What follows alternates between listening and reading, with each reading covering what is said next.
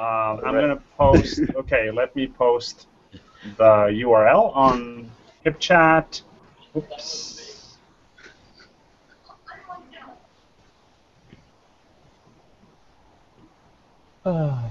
That's the URL, uh, August 22nd. Um, that's the live URL, and uh, let's uh, post this.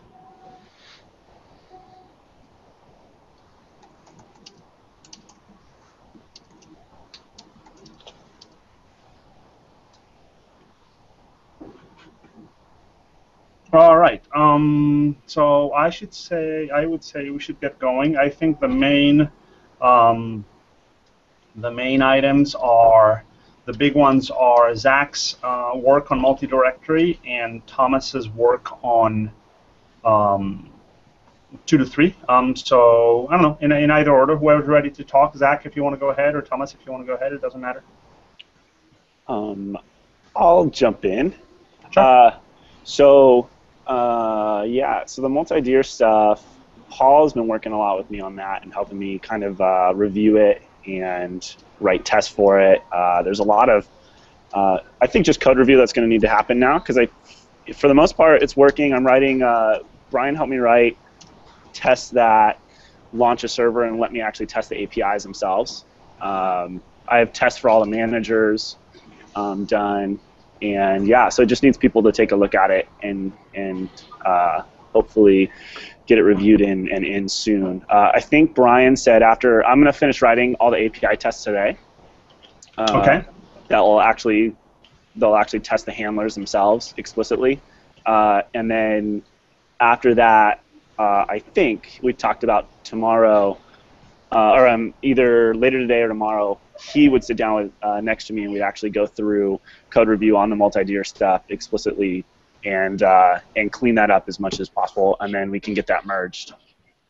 Um, Okay, Yeah. so so one one thing that I that I want to make sure though is that others have a chance to review it as well, not not just the two of you guys. Right. So I, I, I would want to make sure that because one thing that and we, we have time uh, before before the release of this, and one thing that I think happened, and uh, I know that Min and Paul um, and others mentioned this, was that with, with the time pressure we had on the NB convert stuff, the actual code didn't really get as much review as it should have.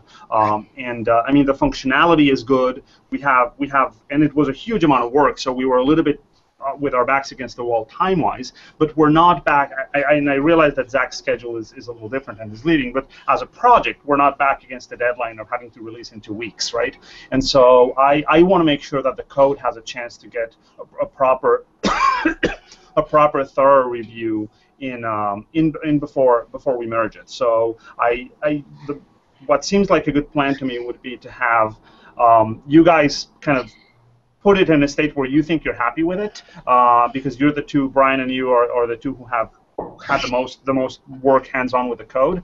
Um, and then as soon as as soon as you think so, then you just give you basically give us the go-ahead, and if that's tomorrow, that's perfect. And then we will all dive into it. Um, Yeah. It's a good time to be doing the review of that. Um, with Min being gone, um, we're not going to be um, doing a lot of other uh, merges as well. That a, a lot of a lot of the other stuff is kind of under under his control. So I think the the rest of us can try to review that code carefully and thoroughly, so that when we merge it, we're comfortable with the merge. Right? I, I don't want to have to do post a lot of post merge cleanup and review. So uh, Thomas and Paul have been reviewing it for about the last I don't know week and a half. Okay. Um, although I don't know, I mean Thomas and Paul, what do you think? There's more review you guys want to do? Yeah, so I got, I at least got some way into it, and you know, I I left some comments, I made some changes, which I submitted as a pull request to Zach, um, and then I kind of dropped it and went and did other things. Okay. So yeah, I should definitely go back and have a closer look at it. Great. Yeah, Yeah, and- especially and- all the, the string Unicode, Python 3 type stuff. That that's where. Yeah, I didn't really get to looking at that when I reviewed it before. Okay. and and I haven't I haven't finished. I've, I've been sort of going function by function with Zach, so I send him feedback as I as I get it, and so yeah, I'm not I'm still sort of I haven't looked at the whole thing overall. But that's what I'm So, uh, Awesome. also, also uh, just kind of an idea on my time constraints because it's actually so I, I'm actually working here in San Luis Obispo uh, until next week, probably midweek, Wednesday or Thursday, and then I don't actually start uh, school until the last week in September. So I, I will still be working, even though I won't be in San Luis Obispo. I'll still be working, uh, but I'll be up in Oregon. Good to Um, know. Okay. so, so I, there's not as much time constraint. It's not like we have to get this out like with me around for a week. I'll be around at least for another month, and then, you know, it's you know, it's a grad school, so I'll have plenty of time. spoken like a spoken like a true believer. uh, yeah, no, okay. Well, that, that that that's better because I thought the constraint was much harder. I thought next week you were leaving and you were sort of just gone, gone, gone. Um, but but if you have some bandwidth, I think it's perfect then because it means basically as soon as tomorrow you guys give us the the get uh, the the go the green light, we will begin uh, uh, all reviewing this, and then you can address whatever feedback comes back uh, over the next week or week and a half, whatever it takes, um, and then we then we merge this thing. I mean, uh, from Brian's comments, uh, it looks uh, really good. I'm going to start test. I haven't actually tested it, so I, the last time I saw it was at the dev meeting. So I'll I'll merge it today for to start playing with it. Um, and, and I'll start I'll start reviewing as well. Uh, I submitted this big grant that I was working on two days ago, so I have a little bit more. Uh, yes, yes, it was it really was it was a, a big load off my back. So um, so I'll I'll also start playing with it. Um, but I think this is going to be very very exciting. Yeah. Um, you also uh, is there anything else on on 3619 Zach that you wanted to discuss or Brian that you wanted to uh, pitch in with? No, um, so I, I mean, I'll just mention Zach has in a separate branch uh, a UI for the multi-directory stuff. I don't think it's ready for review yet, um, but it's looking really good. I, I think it it's going to be just fantastic, and uh, Great. it, it's I, I think it's important because it tests the current PR in a way that to see like can we develop a UI easily on top of this and the answer is absolutely yes it, it's it's going to be really nice Awesome. That, that Uh, that's really good to hear. The comment on that, I actually haven't pushed that to uh, GitHub, so I'm gonna I'll do that in. Oh yeah, why don't you just push it to your, even if you don't open a PR, or you can always, you could even open it as a PR and you simply mark in the title, just to, so that it's really explicit, just put in the title of the PR in brackets, uh, work in progress. Uh, and so we know that it's not for, not meant for merge. Uh, Right. So, but but it's right there. The, the, the thing is that it, it makes it visible right away for people to play with. Um, and since we have tools to automatically like automatically create exp- local merges of PRs for testing, it's just easier than if we have to fish it manually out of your uh, repo. Definitely. I just didn't want anyone if they're looking for it right now. It's not on there right now, so I'll do it in the next 20 minutes or so.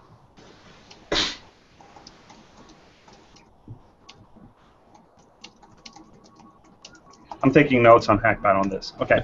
Um, any any other um, anything else on, on the, the kind of broader multi-dir stuff? Anything that you guys encountered that was uh, a problem either on the JavaScript side or on the architectural side? Anything that you're particularly unhappy with, um, or that you foresee as a problem? No. Okay, great. Smooth Ah, that's- sailing. that's- ah, yeah, fantastic. That, that's really sweet to hear. Okay. Um, Zach, you also had some notes since you sort of have the microphone now on your um, graphic, uh, the graphic designer friend. Yeah, uh, I just wasn't sure uh, what. Uh, I, I, Brian and I talked a little bit about uh, her yesterday, just kind of like what it would look like with her. So she's Mhm. the the nice thing is I think she fits our team well in the sense of she's, you know, it's it's a it's a uh, a side thing for her. It's more fun for her. Um, she's looking for. She's easy to work with. She's someone. You know, it's not this huge uh, uh, company that you're bringing in. It's just uh, her and a couple of friends who are starting their own web development, uh, design development uh, business, and um, they they're when I told her about this, she viewed it more as an opportunity to to get um, to work with a project that's succeeding and doing well, and to has it as like a resume builder in that way. Mhm. Um, she's very good at what she does, but um, and so she, she's kind of those people like we give her exactly what we want. We can be very detailed. We're uh, we're probably more OCD and and uh, uh, you know we, we have our specifics that we want, and so we can be a lot more uh, controlling if we want to mm-hmm. with her, uh, and at the same time uh, she can shine in what she's good at. So. Yeah. Uh, and there's no there's no like time constraint for her. She said just get back to her. I just thought I would give her an update on what we have been thinking or wanted to do with it. Um, I'm I'm very I am very very pro moving forward on this right now unless anybody sees a reason not to and the reasons that I see to for doing it are um, we've had a we've had a release. We are kind of at a good point in our cycle. We also need to do some updates on the website, which we'll have to do even before she has a chance to join in. Um, but but if we can do it in conjunction with her, that might be even better um, because we've had some sponsorships come in that I don't want to announce publicly yet because we're preparing the, the information. But you guys have heard about it privately, uh, and we want to thank sort of some of these new sponsors for the project. Uh, and so we want to set up a little page with, with some PR press releases and and acknowledgments and a sponsorship page and whatnot. So it's it's a good time for somebody to get started on updating our visual language. And Thomas has done some of that work in the past, um, but I think it, it would be better if someone like and, and I've done some of that as well, but I think it would be better if instead of some people like Thomas and me who tend to be low level, we have somebody who actually knows about web stuff working on that part with, with our input. So, and we have, we also, I mean, I, I, I think it's great if she wants to work with us as an open source project and build her resume, but if at some point uh, she needs to build some hours. We, we do have some some of that allocated in the budget, and it's perfectly okay to to uh, pay her for her time when she does it as part of the business and not as part of sort of open source work. Uh, if it comes to that, we can do that as well. We budgeted for that. Yeah. So I would I would say by all means go ahead. Um, I can't be here unfortunately uh, at the next week dev meeting. I, I have an all-day workshop on campus that I must attend, um, so I won't be here. Um, but you guys could start conversations informally with her, um, and maybe we can invite her to a dev meeting later on, uh, or we can have a separate hangout with her that's not public if she if she won't if we want to talk privately a little bit first. Um, so I, I would say move forward, yeah. I, I unless, any, un, unless anyone has sees it differently, I'd, I'd be happy to hear. I, I think what I, I was thinking um, is to put to talk talk with Zach a little bit, come up with a few well boundaried mini projects that she could start out on. Sort of brainstorm on that, and we can bring that back to the to the dev meeting and, and talk about those things, and then start out with a conversation, her, Zach, and I, and then you know basically go from there, bring her in, and, and have all of us meet with her online.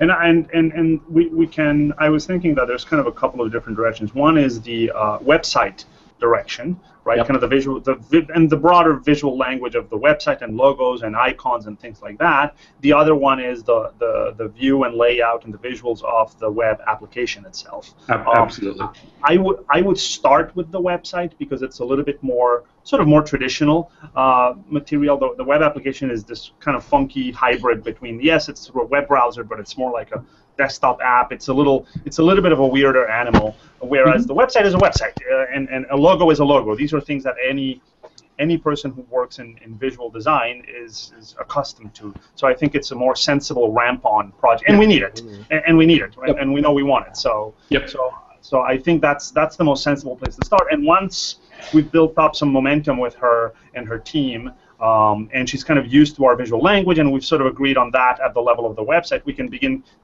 bringing her, her thinking and her um, expertise into the web application itself, where there's also JavaScript and CSS and graphical elements and whatnot. Does that yeah. sound reasonable to everyone? Yeah, I, I think that I mean, we might even want to start smaller scale, like rather than the entire website. I don't know, part, part of the website, or just a logo, or sure. you know, so basically start start small, see how it works, and and build from I there. actually, I actually wouldn't start with a logo. I think the logo is one of the hardest things. I, I, Seriously, I, I, I, think that something like I don't know, clean, um, the layout of a couple of pages on the website and the sponsorship page and, and suggestions for layout and whatnot, um, okay. and, and the CSS is actually the, it's the most natural thing. The the logo for a project like ours, which in a sense um, struggles with finding a single a single narrow way of defining its scope um, is going to be hard in the sense that we've we've never even been able to come up with a good short design brief. And graphic designers are not magicians, as as we know. They can only uh, a good visual designer operates off a good design brief. Um, and for IPython, that design brief is itself a difficult thing to to put into. In, go ahead. Do you want me to take a stab at a design brief for the website? Then, yeah, yeah, you know, yeah. I, mean, I, would say, and, and I would say, yeah, put it. Um, an IPEP. Yeah, put it. Yeah, an or IPEP issue, or I mean, it doesn't. Yeah, yeah, yeah, yeah. yeah. Okay. Absolutely, absolutely. Yeah, I, I was just going to say, just in, in some mechanism um, where we can um, we can ju- just kind of dump feedback uh, and discuss it so that we can iterate, and then we can once once it's in rough enough shape for feedback, we can we can give it to, to her to begin thinking about it. Great. As a, as a way of starting the conversation. Yeah, I think that's a perfect idea. Okay. And actually, you can make it the since the website is a repo. Um, I, that's where I would do it.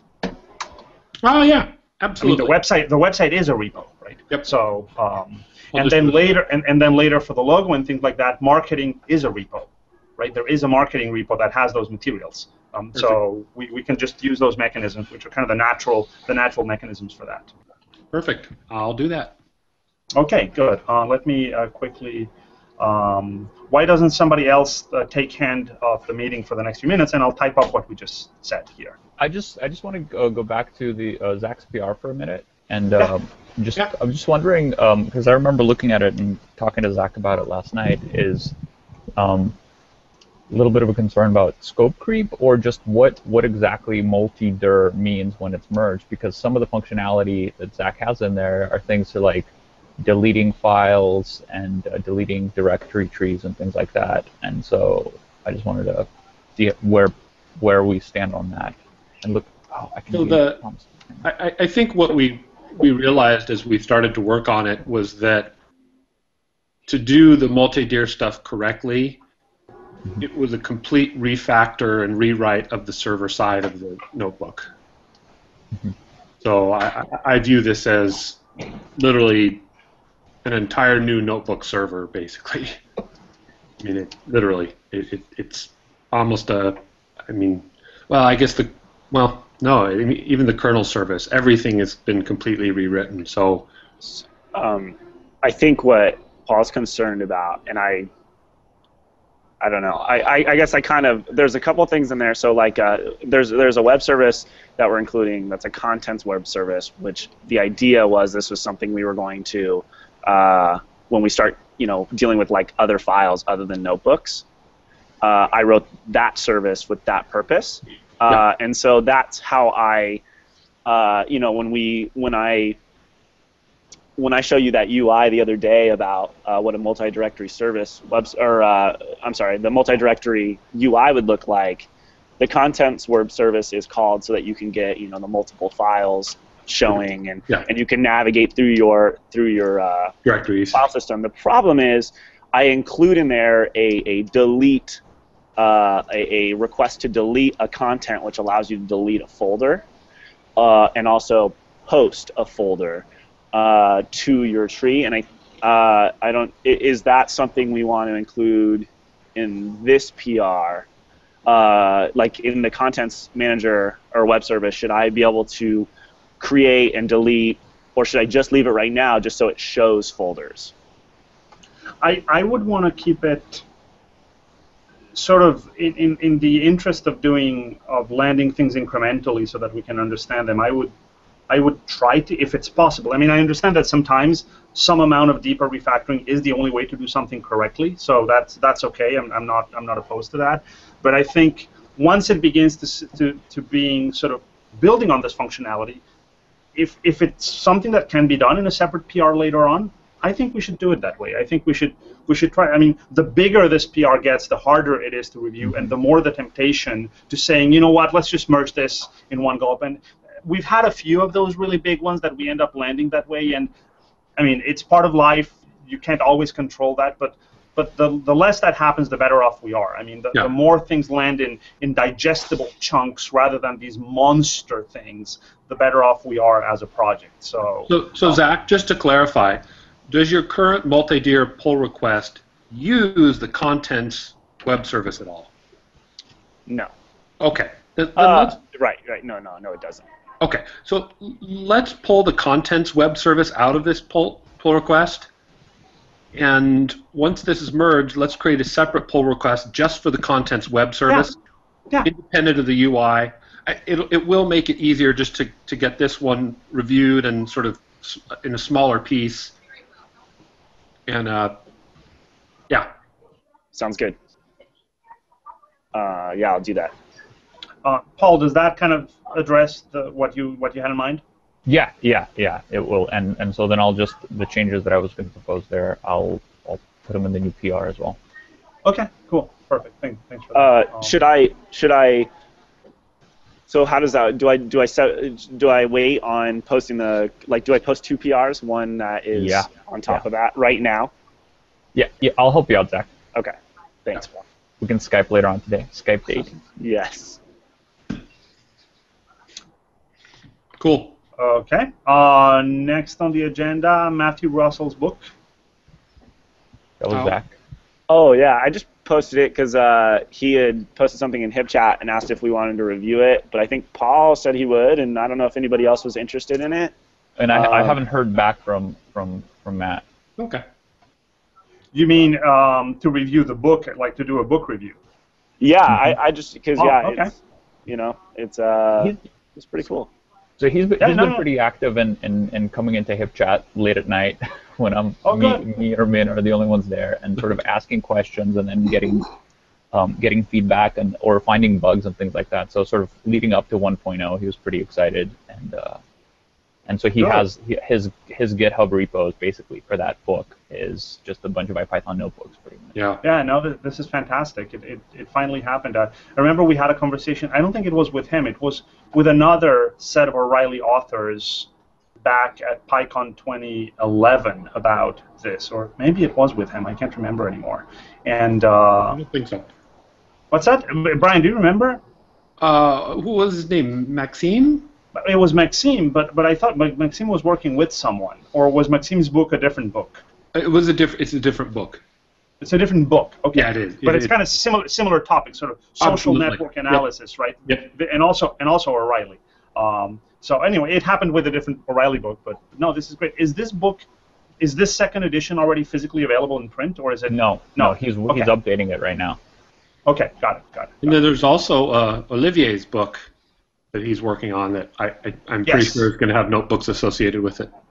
Yeah, uh, certainly. Yeah, he said he had he had a, a deadline about that earlier this week. So Yeah. and that's also O'Reilly. I think that's right. Okay, good, good. It's, it's Is it happening. is it a machine learning book? Yeah. Yeah, yeah, machine learning stuff. Um, yeah, he said he had a deadline this week. So, yeah, I don't think I'm going to sign up to be a reviewer. Uh, I, I just know I would drop the ball on that. I'm, I'm dropping enough balls as it is. But if, if anyone else on the team wants to do it, that's fantastic. Uh, so, yeah, I, I think it would be great if, if there was a, a technical review from at least one of us. That would be very Yeah, yeah. So on it. Great. Okay, anything else on that? All right, Thomas, you have the floor. Right, so uh, we've supported Python 3 for a couple of releases now, um, but it's been using 2 to 3 at setup time, so when you install it on Python 3, it takes a couple of minutes to run 2 to 3 over the code base before it finishes installing it.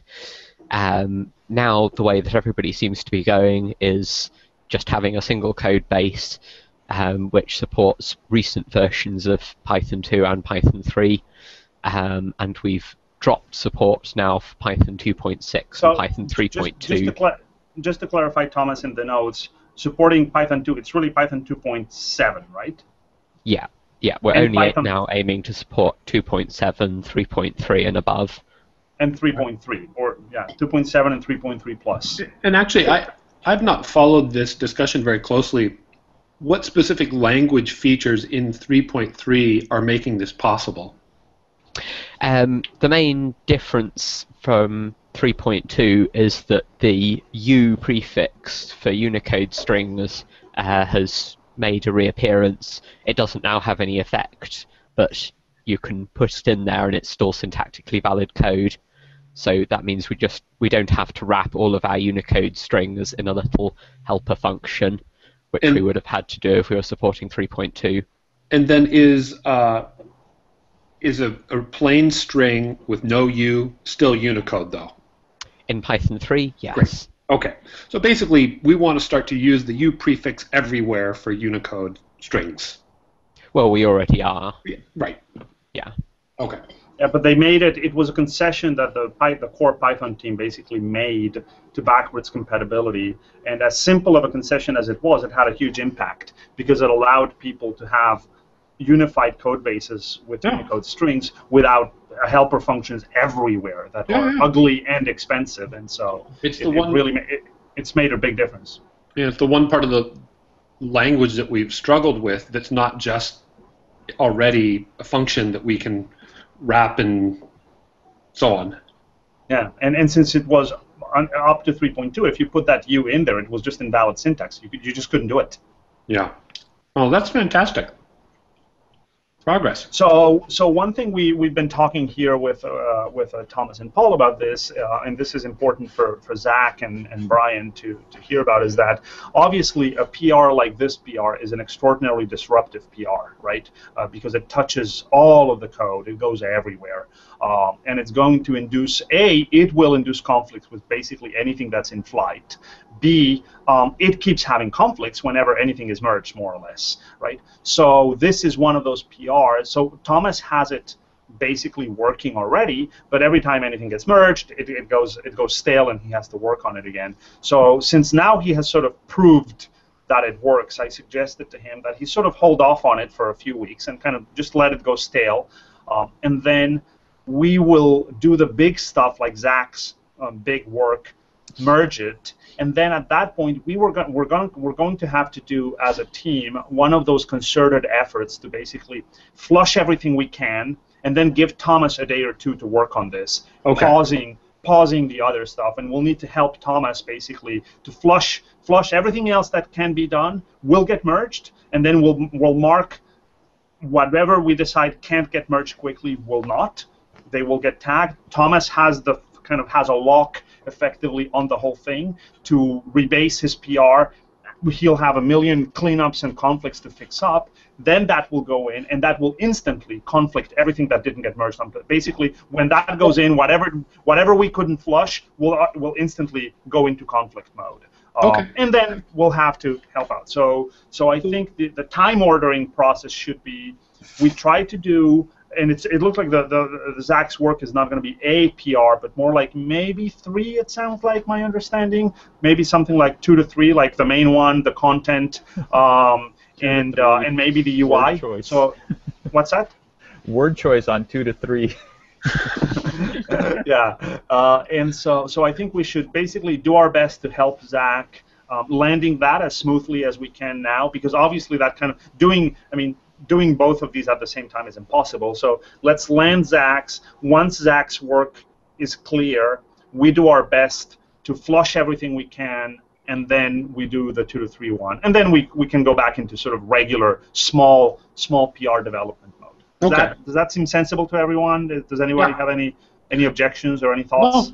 Well, I, I think one thing that would be helpful, Thomas, is if you could write on the GitHub wiki under the development pages sort of a, a summary of considerations that all of us should have in mind when we're writing Yes. new code with this new approach in mind so that we basically get into the habit of, of having a, a place where we can look when we have questions about okay how how do I need to handle this particular type of thing um, both the Unicode and the, the string issues but also if there's other other sort of compatibility things we have to be aware of that that we have a, a location on the GitHub wiki to, to refer to rather than always having to ask you.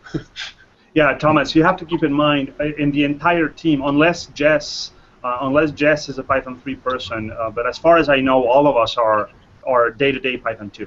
So we are we are very likely For the time uh, being. for the time being. No, I'm actually looking. I'm really looking forward to this actually because Yeah. once this is true, I might actually start. And now that NumPy and Matplotlib and everything else is available, I might actually start using Python 3 as my daily tool. Um, so, Yeah. but but, but we're, we're, we're coming from behind, is what Brian is saying. We're, we're, Yeah. we're- these are not our, our automatic habits and reflexes. So if you give us a little reminder guide, it'll be it'll be very very useful. Yeah, I'll do that. Awesome. Thank you. Great. Um, anything else on that? Okay, uh, Paul, do you want to talk about the what's new stuff? Oh, this is just uh, well, just a uh, just to put it on people's radars, and uh, Yeah, I yeah, sent yeah. a Well, note to the mailing list about this. Right? Yeah. So, uh, pull request 470 documents a new way of documenting changes of to our what's new section, and so if you all could take a look at that and uh, give feedback on that. The idea being that uh, along with sort of the two to three um, dropping two to three, um, we keep getting um, for for the PRs that do a good job of documenting what they're actually changing or what in, incompatibilities they're introducing. Um, we are uh, getting conflicts for those PRs whenever we merge one of them. All the rest, because they edit the same sections in the in our singular what's new document in uh, development.rst. Um, and so what this proposal does is to create a little creates a little directory where anyone can make a new text file that documents those changes, and then periodically we'll grab the text files in that directory and just concatenate them all into that what's new document. we really want to encourage people to kind of update what's new as they work, but it's a natural spot for pretty much guaranteed conflicts all the time if we do that. In fact, when we went to distributed version control, that's why we had to stop using a changelog file because it was it was impossible to maintain a, a changelog file with distributed version control. So it looks like honestly the the approach of of a little directory with with with kind of named files for the what's new elements is the simplest solution. And then it's completely trivial to write that little script that merges them and periodically, once every few weeks, just puts that into the main file and deletes the file. The whole process can be completely automated. Uh, and it'll it'll encourage us to keep the what's new updated so that at release time nobody has to trawl six months worth of, of, of git logs to to build um, to build the, the release notes, but that the what's new document is basically nearly ready. So I we talked a fair bit about it. I can't think of any objection to, to the to the plan unless anybody has. And, and if you uh, obviously if you see small details with the implementation, by all means um, pitch in on the in the review of the PR. So what one thing as we start to do this more as we work, I think for what's new to be useful, we want to try to strike a balance between adding things to what's new when we should, but also I- like I don't think every pull request should have an entry on what's new. It, oh, otherwise, Oh, no. people will never read it. Yeah, yeah, yeah. No, no, no, no, no, no. What's what's new should be the, the chunky stuff. Yeah. The, yeah. The the, the, the chunk, It's not a change log. I mean, the Git log. It's not a a copy of the Git log. Let's yeah, it and, and and like I would say a good fraction of bug fixes yeah. that don't introduce incompatible changes, like never mention. Yeah. Yeah, it's only really new features and incompatible changes in the API. Great. Yeah, but the incompatible ones, those really should be documented right away because that's exactly the kind of thing you know. You know you're doing it when you do it. You forget about it later, and then Yeah. it's very easy for that to slip unnoticed at release time. So any incompatible changes to the API, uh, even small ones, should go in right away. So, a question about NB convert. I Mhm. mean, every change we make to NB convert right now is incompatible. Yeah, no, that, that, that that's that's okay. I don't think we need to document. I mean, NB Yeah. Convert was released as alpha, and we know Okay. we sort of sort of told people that we would break things, and just so long as We were the, very- the, the right way of doing NB Convert is documented, that's fine. we were very explicit because I I think for that what's going to happen is instead instead of like every last little in backward incompatible thing, we'll probably in 2.0 we'll have to have a summary section of like the NB convert API is now the following, right? And and and now it is more stable and so on and so forth. but rather than documenting every last thing that we had said was going to break, and like, oh yes, we, we said what we did, we, we we did what we said we would do, we broke it. Uh, I I don't think we need to worry about that. And and the other the other thing is to, to sort of address Brian's concern is that we it's much it'll be much easier to remove things from that document that are sort of too explicit or the, uh, too detail oriented than than having to figure out what to add to it later. Absolutely, that, that's for sure. Okay. Um, so I don't know if uh, let's leave this thing that Min wanted to talk about to the very end because it, it's it's mostly just to get on a conversation that, that Min wanted. But let's let's go on with other things where we have everyone in the room. Yeah. So Brian, um, some NB convert things. Yeah. So I've been spending some time on NB convert. I have a pull request open for the citation implementation. Um, I've written some simple documentation and have uh, example notebooks in the NB convert examples repo. Mm-hmm. Uh, so basically, you know, if, if people can have a look, um, it's it's pretty simple code and functionality. Um, I also uh, re uh, did some refactoring of the PDF post processor, so it will actually run BibTeX for you. Um, oh, cool! And it also now cleans up the uh, LaTeX temporary files um, when it creates the PDF. So um, just uh, there's that one, and then I'm starting to work on and, work with Jonathan on refactoring the, the LaTeX templates. Um, basically, my my vision is that we build a very plain, generic template that does not use Sphinx um, and which has extremely simple prompts. And, and, and my, my thought is I think our base template needs to be something that someone could easily adapt to write uh, a, a, journal article with, where they're not going to mm-hmm. want a lot of the crazy extra code that we're using for syntax highlighting, and they're not going to want all the Sphinx templated stuff mm-hmm. uh, or the Sphinx style classes. Start with a nice base and basically come up with Jinja blocks that allow the customization of that template very easily, and then build the Sphinx version on top of that, and also make it really easy for people to swap out the style that the uh, code cells are formatted in. Mm-hmm. Um, and so I'm I have another pull request open that adds sort of a, a simple Python prompt style code cell look. Um, and yeah, ba- basically make it more modular. And part of my motivation is that the Sphinx transformer has slowly been growing config equals true attributes, and that was exactly the thing that we wanted to avoid with the templates in the first place. Um, but the templates are not really set up well for customization. So I want to basically make that possible and, and then strip out all those config equals true attributes as much as possible um, from the transformers.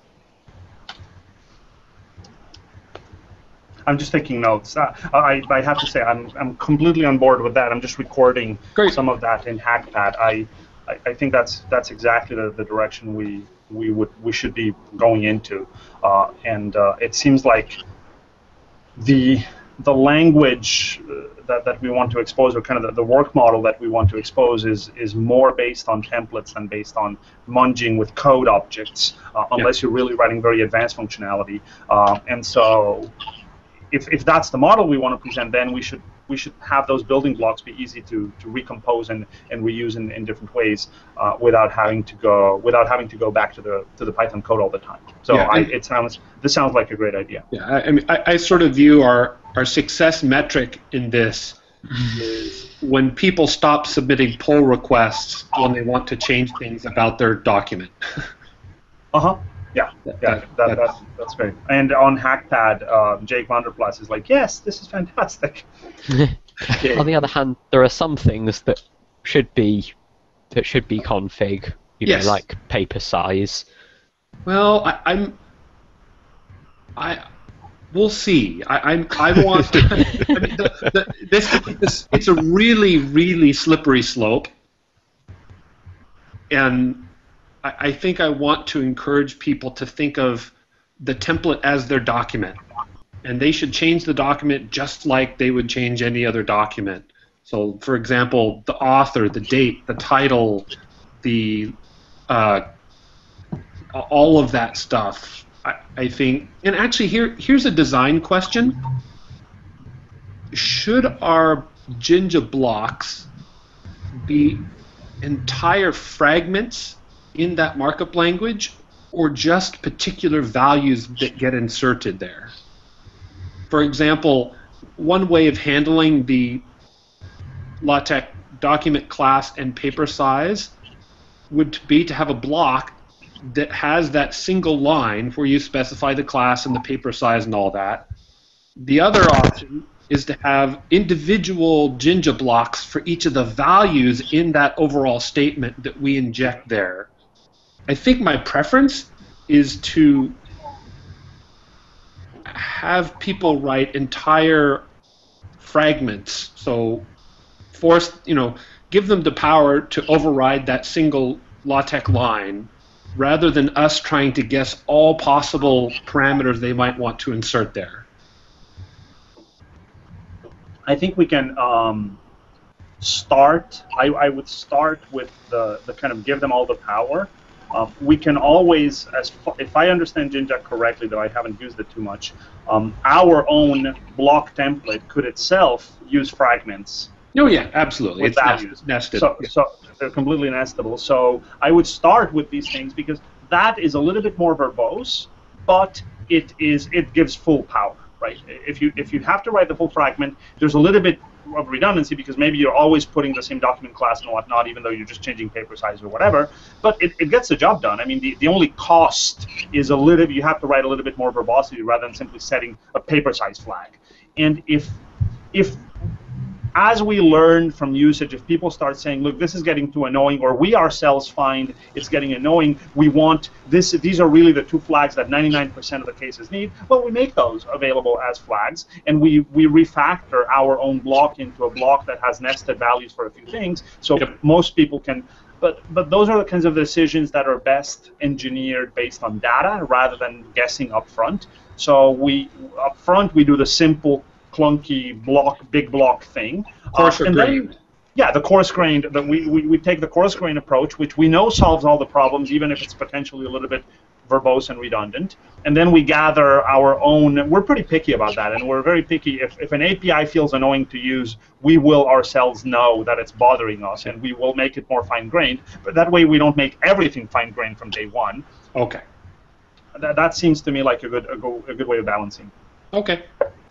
Yeah, I'll, I'll But I, I really like this direction in which things are going. By the way, uh, Jake is not the only one who's happy. This is fantastic news. yeah, I, I want to write a physical review article using the notebook. So Absolutely, absolutely. Um, okay. Um, anything else on on on this, Brian? Um, I guess the only other NB convert thing is the vertical space formatting issue in the, the notebook style. Jonathan, you wanna or Paul, you wanna give us a quick update on that? Oh yeah, I, I don't know what that is about. So please. Um, yeah, so there's a there's a problem, and Paul looked at it. Both both Paul and I looked at it, and it has to do with the MD frame package that we use to draw the smooth cornered boxes in the LaTeX templates, um, where things are not vertically aligned on some people's LaTeX, and they are aligned on other people's LaTeX, and it's not just as simple as an extra blank line here or there. It seems like Ouch. everybody yeah and and it's kind of hard to track down because there's all the different package versions and i don't really i don't really understand where exactly the problem is coming what from what what what? Um, uh, sorry, what logic package is the one that's kind of in the middle of this complicated thing? Um, MD what? M- md framed so that draws the colored frames with the padding and the multiple page support and then it also has padding support for multiple pages so you can have different paddings where the page breaks uh, so it's a really complicated package and Is there is there a. GitHub? Sorry, is sorry Zach that I'm interrupting you, but I'm trying to annotate this well. Is there a GitHub issue around this specific problem already? yes Uh, Yes, yes, can you give Let me the number? see- yeah, let me see if I can pull it up.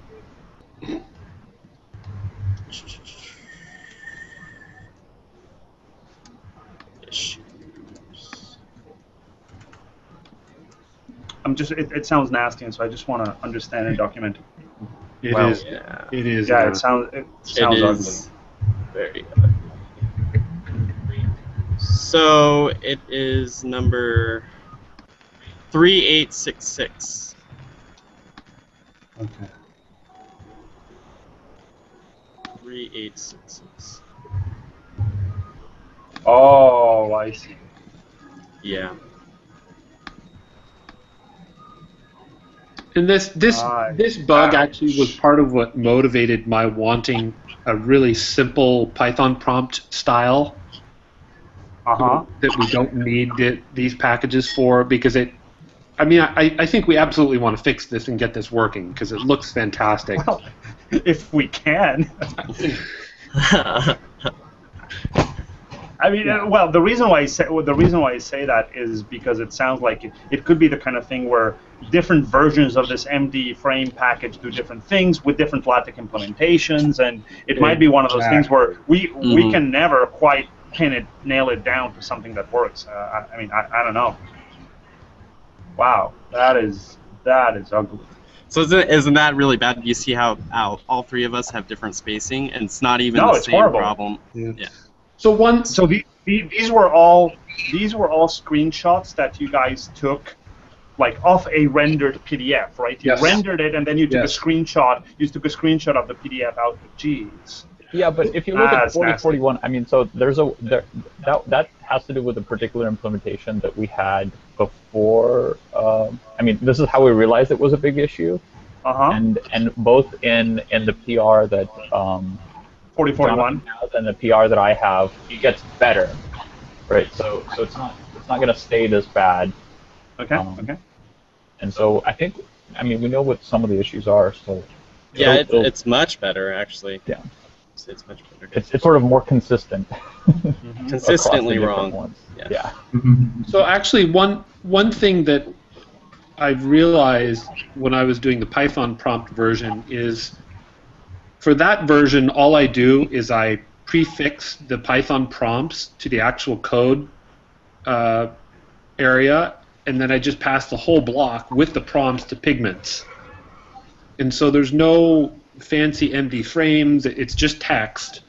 The the thing that makes it possible to do is that there's no output prompts in that style. Mhm. And so I don't have to worry about having a prompt next to output of arbitrary type. It's this combination. I mean, the thing is that with our prompts, it's actually a 2D grid that has inputs, input prompts, input block, output prompt, and output block. So it's a two-dimensional alignment problem. Whereas, But the thing, the thing, the input is trivial because the input's always text. The output Mhm, is where it's a problem because it's it can be an image, it can be LaTeX, it can be anything. Anything. Yeah. And and al- aligning MD framed in a grid is Uh, it's, fun. it's not easy. Yeah, Yeah, I but, imagine. but one one solution is to inject a, a Python prompt as text on the input and just use no output prompt. That style is trivial to implement. And we- We'd want to add support for IPython style input prompts to the Pygments Lexer, but that's trivial. Uh-huh. And, and that would have no, I mean, it, it would work. And then are you talking about just underlaying the MD frames as colored boxes around Uh, no, the code? I think or- in, no, I think in that style I would just leave the MD frames off. Oh, entirely. oh, oh, okay. I mean, just dead simple. So uh, one question, um, Zach and um, I'm sorry, Jonathan and, and Paul, have you guys asked on the LaTeX uh, exchange, on the Stack Exchange LaTeX, about No. this? I have. I would I would pitch in there with a question and maybe linking to these things. The people who the people who hang out at, at the LaTeX Stack Exchange are frighteningly knowledgeable about LaTeX. I mean, these are the people who sort of dream in the funky syntax of BibTeX style files, right, which looks like phone line noise to you or, or me. um, and they, they find it beautiful and elegant and readable. Uh, and so I would, I, it wouldn't hurt to ask those people. They they really know. I mean, they have forgotten more about LaTeX that all of us will ever learn combined. Uh, and so it, it may be worth just asking them um, because they may point you maybe they point you to a different package that is easier to use than MD Frame and and doesn't have these issues. Maybe they point you to a solution. I don't know. I would at least I'd burn I'd burn a half hour on, on, on hanging out on Stack Exchange and seeing what, what you get out of those people. It, it, it's worth a try. Yeah, no, that's a good idea. I'll do that today. But do you, do you think it makes sense to have a simpler prompt-based mode, or is that just not even? Yeah, may, I mean maybe if, if this is gonna be if this is gonna be this ugly, um, it's it's kind of, losing the output one is a little unfortunate because it means I mean having a, a, a simple mode that doesn't have the output prompts has the unfortunate problem that um, it, it doesn't it, it kills a distinction which is an important distinction in Python between Yeah. re- return values and, and output um, return values and and uh, and sort of side effect output um, and also because our out is a data structure. Out Yeah. is a data structure and these values are available. And if somebody has actually code that refers to it and with underscores or whatnot then that stuff becomes like not kind of nonsensical when you read it or a little bit harder to understand. So it, it's a suboptimal solution but sometimes suboptimal solutions are, are okay are an okay tool to have if the optimal solution isn't working right or can't be made to work reliably, people may say, "Look, I'm, I'd rather I'd rather have something with, with without the output prompts that looks okay vertically, rather than this completely messed up vertical alignment." So, I mean, the other option is we can just display the out prompt and the output in a in vertical sequence rather than trying to align them Yeah. next to each other. And yeah, it's true. that, that that's the that's the approach that uh, Matthew Brett considered doing. So uh, can can we go back for a second to the stuff that Brian was talking about? Because we have a plain REST template, and I think we have uh, simpler lot like a LaTeX basic templates. How how how are those related to the, the new things that you wanted to make be plain, Brian? So, so the the basic LaTeX template Mm-hmm. is separate from the Sphinx template currently, Mm-hmm. and- and I would like to unify them all under a common inheritance tree that makes basically makes it all more organized and logical. Would the Sphinx ones be uh, inheriting from our base basic one as well, or something like that? Uh, I, w- I would have a, a base LaTeX template, then I would probably have a LaTeX article template, um, and have Sphinx article inherit from that, Okay, got it. Okay. or something like that. I, I haven't really thought about the details. So you- you're thinking of unifying on top of that and kind of rationalizing th- that existing stuff. Oh, absolutely. Yeah, yeah. Okay. And, and We- what would- Go when, when Jonathan started to do the sync stuff, we had this older LaTeX base template, and he. I I mean, I don't know if you even touched that at all, Jonathan, but it, it- it Yeah, was a I did. separate I did. Okay. I did. There were there was stuff in there that I, I just couldn't make work. But instead of changing the base, I just kind of went my own way. No, it's fine. It, we just need to clean it up. It, it's. So yeah, does that answer your question, Paul? Yeah, it does. And so the question then, the follow-up question is, would we do a similar thing for our REST stuff? Because right now we have a plain REST one, and then we have, um, don't we have a more sophisticated one? I just don't know where it lives. Like a Sphinx one. I have not. no, I don't think so. I, I think we just have the rest. Okay. Um, I think we were talking with Matthew Brett about working on a Sphinx one, but I don't think it exists yet. Yeah. Yeah, the the Sphinx.tplx template that's there in the LaTeX directory, Paul, is actually LaTeX Sphinx. Right. Right. Okay. Yeah. But but this I guess this issue of um, of prompt numbering and things like that came up when Matthew tried to integrate our um, Oh, and yeah. convert to RST output Absolutely. into a Sphinx. Um, proper Sphinx build. Yeah, I can see would- myself over there. Oh, hi, Paul. Hello. I s- Say something, Okay, Thomas. so so this is this is going to take um, this is going to take a little bit more work. It sounds like this is this is a little ugly. yeah. Um, Although I would, uh, the Yeah. I'm hoping that we can merge, even though it's going to end up being refactored. The Python prompt style pull request that I have, I think we should just go ahead and merge that now. I don't basically. I mean, I had uh, talked. can can you can you give us the number of the PR so I can put it here in the hack? Yeah. I, I had talked with Min about starting to do some of the refactoring in that pull request, but it's just gonna it's gonna expand the scope too far on that. So I think we should just you know review it as is, Mhm. um, knowing that a lot of it's going to change. Um, Remember the number uh, four zero three four. three four. Okay. Oh.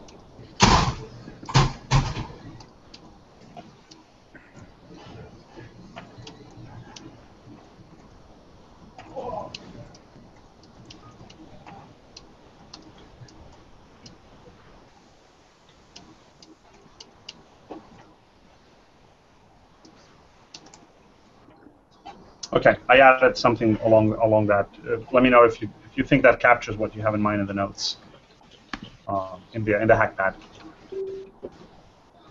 Um, Yeah.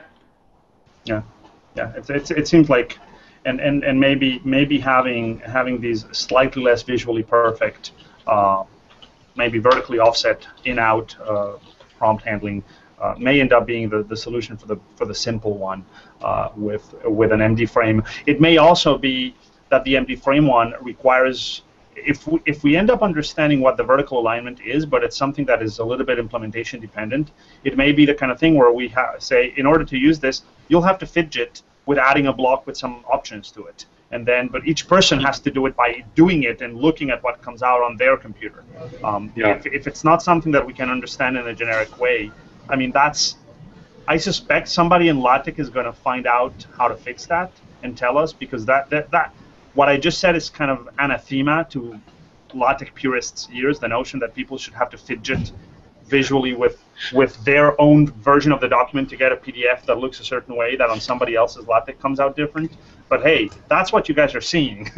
so Yeah. so either either we're doing something wrong or or that's going to have to be the, the, the answer, and so be it. Yeah. Brian, you wanted to tackle documentation more in depth? Um, I mean, I, I Un- know unless, unless, unless there's anything else on this NB convert stuff, but it sounded like we have kind of covered it. I think that's good.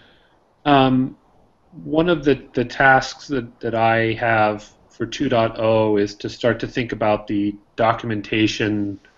Yeah, basically, how do we approach documentation with notebooks? And I, I haven't made a lot of progress, but I've been thinking a little a little bit about how I mean, there, I guess there's two questions that I wanted to discuss at this point. One is when, when a project, IPython or someone else, wants to offer notebook-based documentation, do they do they put those notebooks in their actual Python package, or do they put it in a separate GitHub repo? And it and my, my goal is to to enable people to view the documentation statically online using NB Convert, uh, I'm sorry, NB Viewer, but also in the Notebook web application that we can query the package to find the notebook-based documentation and allow a user to browse it and open those notebooks from within the web application. Mm-hmm. And I, I can imagine advantages to both having it sort of in the package but also as a separate GitHub repo. Because if it's a separate GitHub repo, a project could have multiple repos. One is a tutorial, one is their uh, sort of standard narrative documentation. It there, there's a little a little more flexibility. And so I, I don't know. I, I mean, what do you guys think? So what about what about this idea of um, being able to dynamically put in links into our help documentation that we discussed? I don't remember which PR it was on, but being able to sort of register, having a JavaScript API to register links to the help um, for different packages. I I think we'll because because I can imagine I, I, the reason I sort of bring that up is because I can imagine uh, different projects wanting to do either one or the other of what what's proposed. Either uh, you know the notebooks live along with the package, so that when you when you pip install them, that you have notebooks available, or that the notebooks get updated so often that they live in their own repo that's always on the web. And you know the standard way of getting um, docs is by going to whatever Python.org or something like that. I mean, I I think I think part of what we're going to end up doing is indexing Python packages and querying them in some appropriate way to find their documentation and mm-hmm. dynamically building the help view based on that. Mm-hmm. Um, I I don't know what that's quite going to look like, but I, am not quite at the point of, of of thinking about what I don't know. I mean, it, it, might be the type of thing that when we when a package is imported, mm-hmm. they can publish a JavaScript object that registers their help in the menu. It could be something like that. Yeah, yeah right. Um, I, I, I, yeah, I'm not I'm not quite there thinking about what that would look like. I more I more want to think about the model of like where do people put their documentation. So I've, uh, I completely, first of all, I completely agree with you that we are going to end up with indexing machinery for this. We've talked about this. I think the first discussions of this, Robert Kern and I had them probably in 2005. Yeah. Uh, this is, yeah, this is something we've been talking about for years and years. That it, it is the only sensible solution in the end.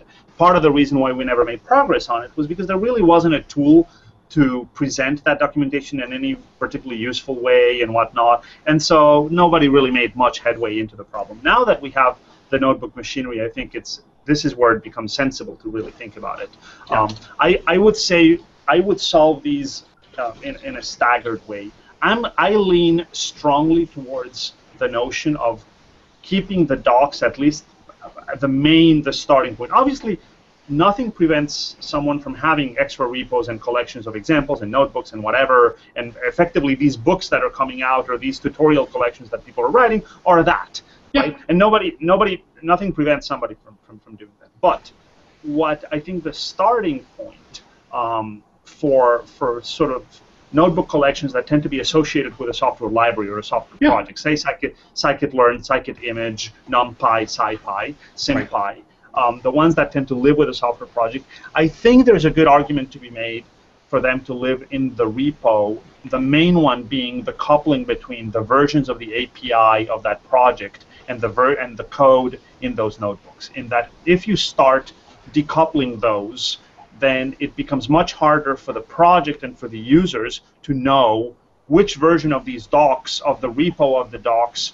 is meant to execute with which version of the actual source that they live with because yeah. I think it's much it's much easier to tell a project if you change your API and SymPy integrate now takes a different keyword argument. Well, go and change your integrate example right in your docs. And when you and if you have a virtual env with SymPy 1.0 that had the old API and another virtual env with SymPy 2.0 with the new API, when you view the docs, there is no there's nothing to worry about. You will get, assuming that the project updated their examples, you always get the consi- consistent one.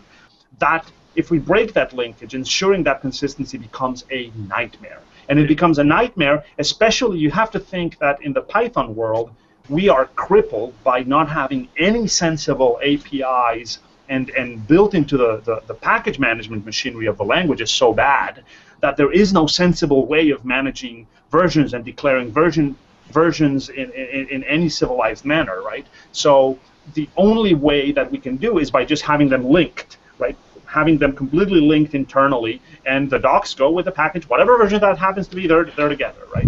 So what I think what we can do is come up with um, layout conventions, and eventually those layout conventions should be enshrined. Once we understand better what works well, we enshrine it into a little API, and whether it's something like having a top le- a package level double underscore uh, notebook uh, locations or something, and and whether that's a string, that probably was going to be a dict with a few fields because we're probably going to need more than one piece of information from it, and maybe it's going to be the path, and maybe it's going to be a version, and maybe it's going to be if there's going to be format information. I don't know. I mean, we'll have to think, but basically something that can be encoded in JSON so that we can have other project non-Python projects com- absorb the same um, approach. So you imagine Julia, Ju- an API that could be also given to Julia, so that the UI components can understand the, basically the same information for Julia packages.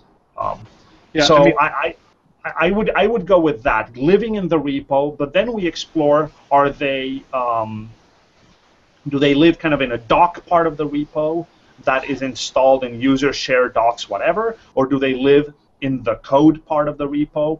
Um, those are, and then once we understand which of those two alternatives is better, how do we register that information so that we can query it? Once Well- we're happy with individual querying, we can agglomerate an index, but that, that Well- should come later.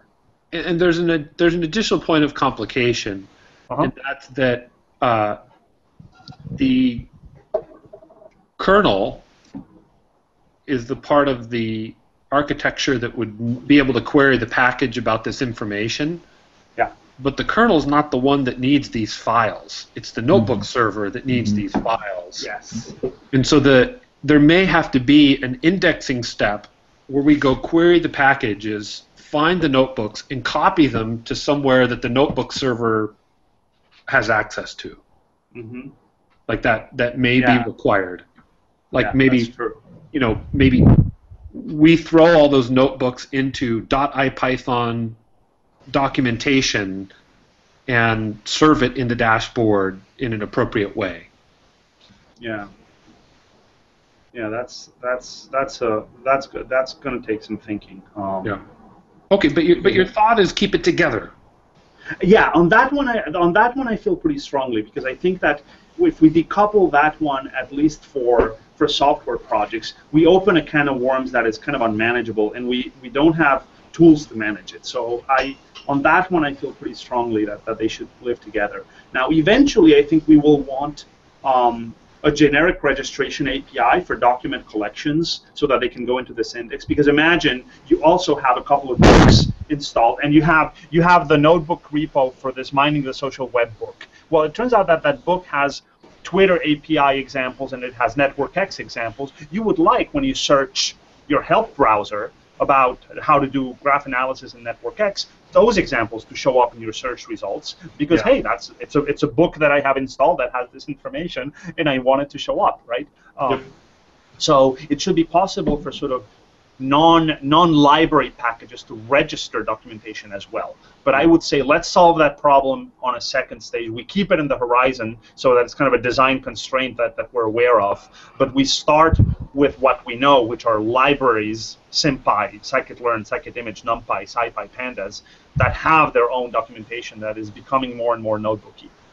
Yeah. Okay.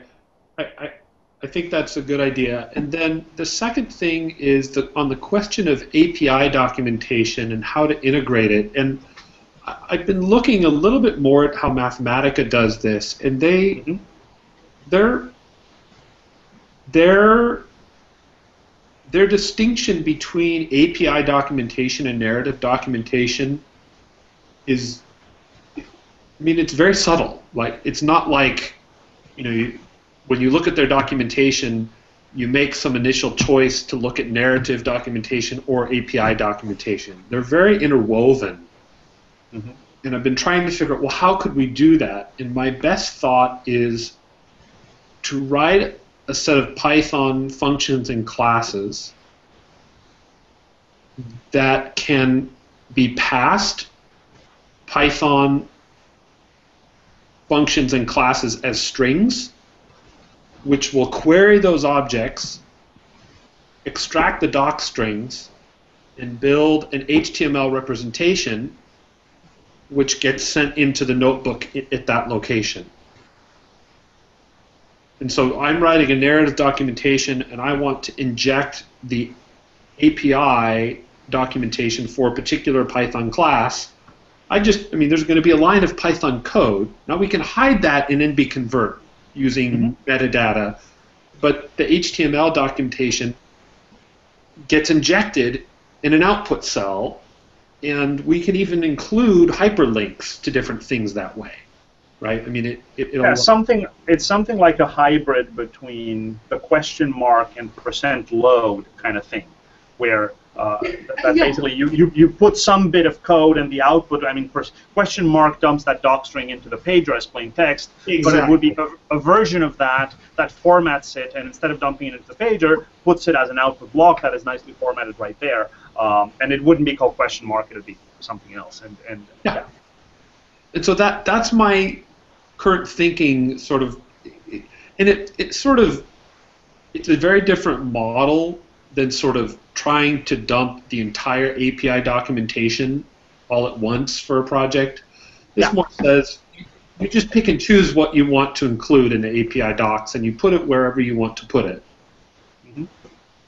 Well, it, it, it's sort of going in the direction that we've said, um, even for the API docs, that we would stop doing running an auto-generate script that simply yes. um, trawls the tree uh, systematically, just trawls the entire tree and dumps everything it finds, modulo a few blacklist exceptions, which is what we have, and saying we should go more to using the, the Sphinx uh, class directives, class documentation directives, but with manually constructed indices, so that we choose what we want to document. This is basically it's it's like a Sphinx uh, doc directive, um, but done inside of the notebook. Um, yeah. And if we were to do that, those index pages, I mean, the simplest version is you just put like directive, directive, directive, directive, and nothing else. But obviously, nothing prevents you from uh, adding text, explanatory text, and saying, right. like, putting a little bit of, of, of uh, sort of uh, narrative material, putting that function in context, and then dumping its basically its richly formatted doc string right there, and then having some more context below. Yeah. So yeah, I, I think we were already moving in that direction uh, with with that discussion, and and, and so uh, that that's that's perfectly perfectly reasonable. Uh, because yeah, I, I think it's it's basically what we had already. In a sense, it's what we had already said we we would do, but but going going going sort of all the way with that, rather than simply saying let's stop doing the auto scanning and manually construct bare indices, saying well those indices might as well be files that also have some editing, and we just use the auto class directives or the equivalent of an auto class directive in a notebook context. We use them along with uh, contextual narrative. Yeah. No, that, that, that sounds that sounds like a like a perfectly sensible approach. Great. One does any does does anybody else have any thoughts? Yeah, somebody was speaking. Yeah, yeah. Just w- one thread that I don't want to lose. That, that it's it's a shame that that we released 1.0. That there when you get 1.0 right now, there's no our example notebooks. The only way to get them is to clone our GitHub repo. Or, or to grab a, a tarball. When you pip install IPython, you do not get our notebooks. Yeah, yeah. And, that, and so we should another... we should think about moving them in in a, or or or registering them with the, whatever the extra so that they are included. Yeah, that's another that's another uh, reason for keeping them. I mean, uh, they're already in our repo, right? But it's it adds yeah. another uh, another point of for for the, the notion of keeping them in the same repo. Uh, mm-hmm. I mean, in addition to that, obviously that's not enough because we already have them in the same repo and they're not getting, they're not being made available. But obviously, if we were to pull them out of the repo, it would be even worse. Yeah. No, I. So I mean, yeah. I, I mean, so I, I think I'm going to spend some time thinking about this stuff and try to. This, by the way, this is this is um, as you start. This is big and complicated. Oh, yeah. Um, and so as, as you begin thinking about it, uh, start drafting an IPEP on this. Oh yeah, no, absolutely. This, this is totally IPEP material, and in fact, this is one that is actually probably going to be one of our biggest efforts because this goes beyond, way beyond IPython. Oh yeah, every this is some, if if we're successful with this, we should do it for ourselves first because nobody's going to mm-hmm. come and, and kind of uh, eat, eat right. this dog food until we do it. So, but we need to do this. The only way in which this is going to have really major impact is if we're successful in having all the projects adopt it, um, yeah. so that users end up having a unified experience. Well, it, it, you have to go one step further. All of the projects in all of the languages.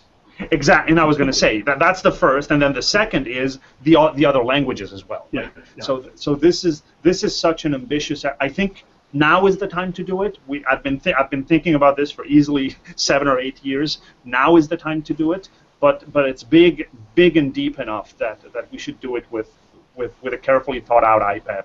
Uh, and I think we this is the kind of thing where for 2.0 we should begin doing it just whatever works for us. Let's not get too ambitious and let's just try something out that works for us. And once we're happy with it we begin advertising it to i mean i know people are going to keep an eye on it and some other projects. I mean the stats models guys are using lots of notebooks in their examples. But but we shouldn't advertise any of this as this is the way to go until we're happy with it. Um, but let's do it. Keep keeping in mind that we want this to go across all the python projects and to work well for the julia guys and maybe one day for the r people and whatnot if, if they get around to writing a server Absolutely. Cool. All right, um, Thomas, you had a brief. Uh, anything else on on the on this, Brian, that you wanted to? That's cover? all. Okay. Um, uh, Thomas, you had a uh, 1.1 possible release in the next few weeks. Do you want to say anything about that? Yes. So, um, like, there was a fairly egregious bug in 1.0 in that we added these. We're trying to encourage people. We're trying to encourage more projects that are using IPython to move away from the embed function, which has various problems to do with namespaces, and to Mhm. use instead this these new functions we've added: start IPython and start kernel. Mhm. Um, and unfortunately, we added them for 1.0, but unfortunately, we didn't really test them at all. Um, so Start kernel uh, in 1.0 literally doesn't work at all. If you call it, it will throw an error. And Start IPython, um, it works, but if you pass the user namespace in, which is one of the key things that people want to do with it, it has no effect at all. Um, So we've added these functions, and at the moment, essentially nobody can use them. Um, so I'd like to get we've you know we've got the fix in, we've backported it already, um, but I'd like to get a 1.1 release out reasonably soon so that we can start telling people to use these, and of course you know any other fixes that we're picking up as well. So Min Min Min is always the guy in our team who's who's very on top of worrying about sort of the, the, the backport machinery for the for the point dot dot one release of anything. Uh, and and I know that I mean he, he opened the 1x branch immediately. He started tagging things for backport. So and we had always said that we would give it three to four weeks after 1.0 was out and then start thinking about it. So I think the answer is absolutely. The fact that these pretty particularly egregious ones are are there obviously raises the uh, the, the the need for it. Um, I would suggest we wait for Min to get back. Um, he's uh, I can't remember when he returns. EuroSciPy is over this week, but I thought I think he was going to stay in Europe for a few more days. Um, and then as soon as I, I think as soon as Min is back, we can do a quick triage of what. Uh, uh, what else? If there's anything else that's needed, um, I haven't spotted any other thing. But if anything else is a critical backport bug, let's flag it so that when Min gets back, we don't have to wait for too long. Um, is there uh, is there anything else uh, that anyone has seen? I think we've backported the things that needed to go in. So I, I know Okay. I put in a few things, and yeah. Yeah, a few things have been backported already. Ba- Okay, Basically, so anything that's suggest- been a bug fix since since 1.0, we've backported. Okay, No new perfect. That- features, that- but yeah. I, I We've would got say a, let's a script in tools that does it quite easily now. Let's let's give Min a chance to get back uh, and land from EuroSciPy, and and and as soon as he's back on his feet, we'll, we'll go ahead and do it. So this should be a, a couple weeks at most. Does that does that sound reasonable to people? Yeah. Yeah. Okay. And uh, finally, the only other thing we have on the agenda is that Min wanted to talk to start thinking about whether whether to have a, an IPython.notebook as a top-level package for various utilities that don't quite fit in NB Convert, don't quite fit in uh, uh, in NB format, uh, and I uh, don't quite fit in the uh, so HTML is the client, um, kind of the, the, the web application. So I don't know. I think we, we may want to. Go Yeah, the- some some some particular examples. One is um, code that can just execute a notebook as a script. Um, Min, Min wants to make notebooks work with the run magic, and, and that would use it. Another example is the the code that allows notebooks to be importable. Um, and Min also, oops, is someone. But Min also thought about would we want to move NB format and NB convert under a notebook package? I, I don't know. Yeah, it's a little. Flat is better It's a than little bit of- nested. That that's my feeling too.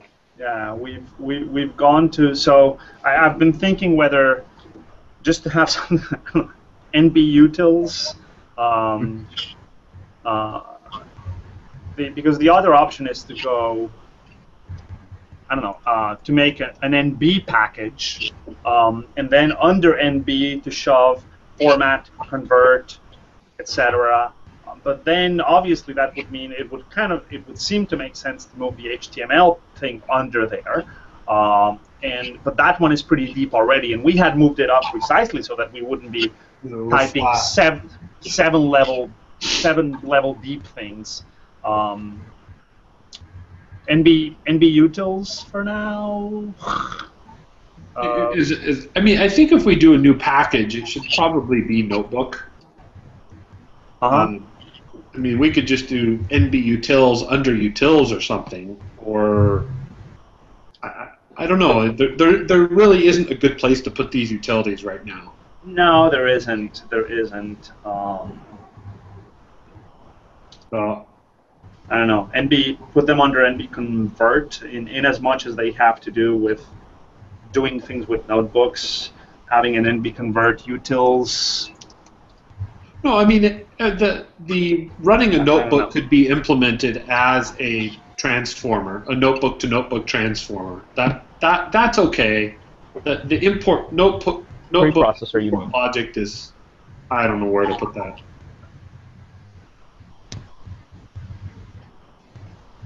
Yeah, core in the sense that uh, I mean the problem is it, if it goes into core, it begins picking up weird weird import across, weird imports across our own code base, right? Yeah.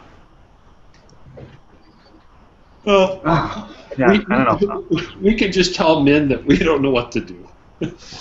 yeah, uh, well, part part of this discussion was just to put it on people's minds.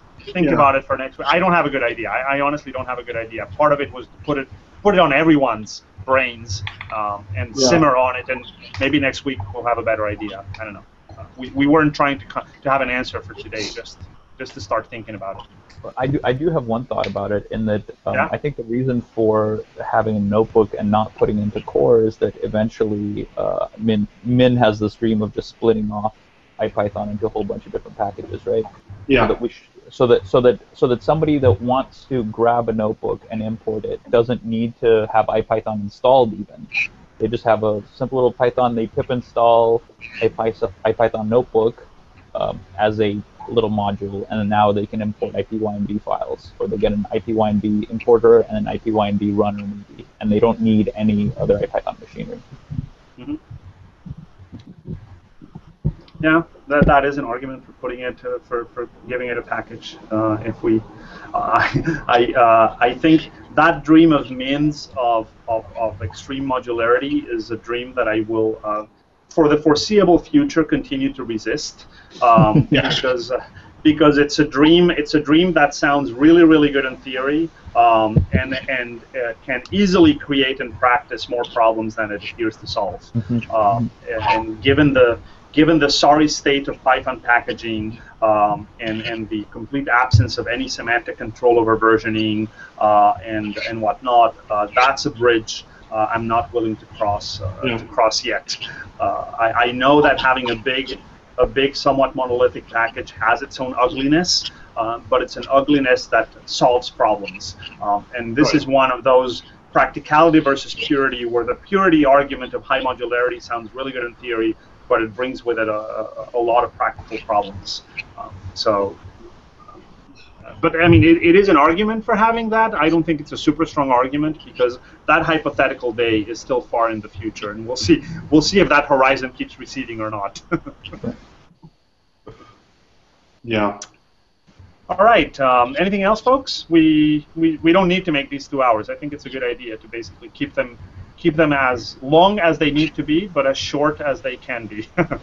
Can Jess and say hi? Yeah, yeah. I was I was gonna say you, you guys have been awful quiet. Both Jess and Devi and Damian have been awful awful quiet. Uh, Um, do you guys do you have anything in mind? Anything that you guys would want to bring up? Not currently. Um, just listening for this week. Okay. Um, Damian, Okay. uh, anything anything that, that you have in mind? Uh, probably the next week I will release the live reveal as uh, Excellent. Great. So angry. So There's al- may, may you can test it uh, later in, in the week and nothing more. There's a lot of excitement about that. I know that people uh, people are. I mean, we have the stopgap one with, with without reveal as a dependency that, that is okay, but it's not nearly as pretty as the live reveal one. So that'll it'll be great to have that in. Great. Yeah. All right. Any anything else? Anyone?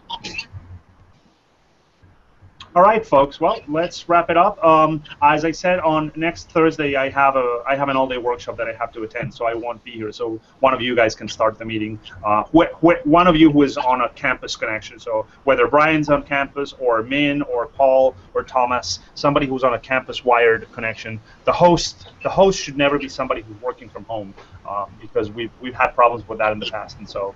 Um, let's make sure that whoever uh, begins the begins the meeting is one of one of us who's uh, one of you guys who's on campus. Okay. Great. All right, guys. I'm gonna end the broadcast. We're off the air. Thanks.